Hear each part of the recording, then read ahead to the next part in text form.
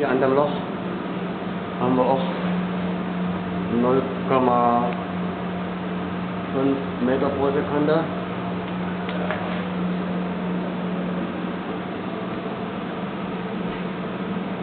Jetzt haben wir sogar 0,7.